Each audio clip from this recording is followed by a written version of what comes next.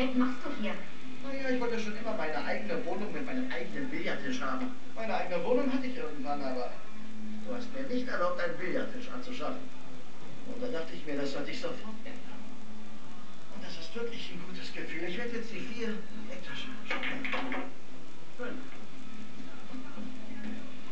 Entschuldige bitte, etwas Platz für den Spieler. Es spielt sich schlecht, wenn jemand im Weg steht. Danke.